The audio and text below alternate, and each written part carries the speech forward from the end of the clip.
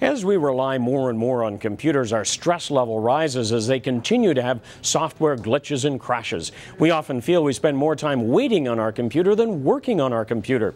Some Canadian technology tries to change that, turning a crash recovery into a simple reboot. Does this seem familiar? The computer in the repair shop. In the vast majority of cases, the problem is related to software, not hardware. If that's the case, then why not focus on protecting that software? Computers have become so integral to business that when they crash, it can do a lot of damage. Dixon Management is a small Ottawa company which, like many small businesses these days, relies on technology to help make their business go. They went to the OOP system 18 months ago and have no regrets. It is idiot proof. I come in of a morning, I don't have to worry about if one of the computers is not working. I don't have to worry. Um, I don't have to worry about any of it. Everything works. Without the computers, we wouldn't have a business. Mandy Dixon was a hard sell after 25 years of computer problems. It was hard to convince her to try yet another approach. But for 18 months now, all the office computers have been using a program developed in Vancouver.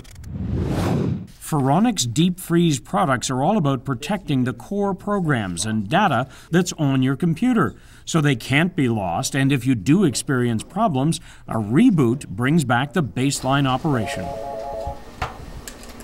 Thank you for calling our Dixon Management. How may I help you?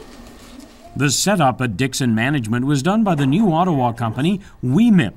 That's short for We Make It Personal. They take that basic software and personalize each workstation. Overall, you're not going to notice too much of a difference. Um, your user interface is very similar to what you're going to use. So you built a walled garden and you're protecting what's in that garden, right? Exactly. Josh Brigham owns his own IT repair business. He's done plenty of those calls, fixing the same computer problem over and over. He also works with WeMip and says he's impressed with the software, but he cautions it isn't the answer to everything. We still recommend security software and different things for data integrity so that uh, if something does come in and does make changes to your system, you can recover from that quickly with this system, but we still want to make sure that your data is secure. The cost of the WeMip solution is based on the size of your company and the complexity of the setup. The firm's president says his approach is part of a shift in how computers are maintained. Between you and I, a nine-year-old can fix a computer nowadays, right? Especially with the cell phones everybody has.